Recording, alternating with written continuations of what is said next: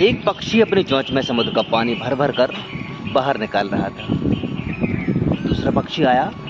उसने पूछा, मित्र, ये क्या कर रहे हो?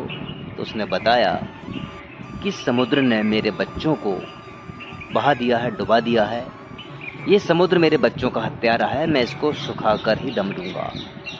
तो दूसरे पक्षी ने कहा, मित्र, तुम ऐसा नहीं कर सकते। समुद्र काफ़ी विशाल है और इसमें बहुत सारा पानी है। तुम इसको नहीं सुखा पाओगे। तो उस पक्षी ने कहा, मित्र, देना है तो साथ दो, मुझे तुम्हारी सलाह नहीं चाहिए।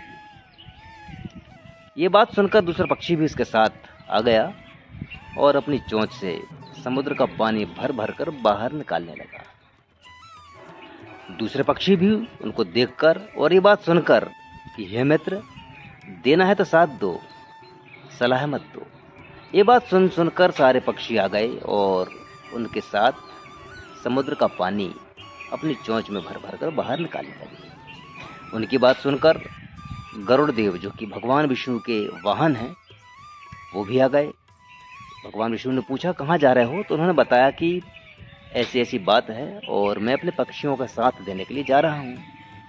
भगवान विष्णु बोले कि हे गरुड़ महाराज, अगर तुम चले जाओगे तो मेरा क्या होगा? मेरे तो सारे कामकाज ही रुक जाएँगे। और फिर भगवान विष्णु ने कहा कि तुम सारे छोटे छोटे पक्षी मिलकर समुद्र को खाली नहीं कर पाओगे, समुद्र को नहीं सुखा पाओगे। क्यों फालतू के काम कर रहे हो?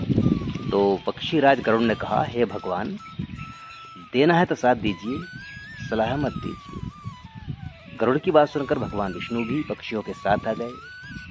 जब भगवान विष्णु खुद पक्षियों के साथ आ गए तो समुद्र देवता प्रकट हुए और उन्होंने भगवान विष्णु से क्षमा मांगी, माफ़ी मांगी।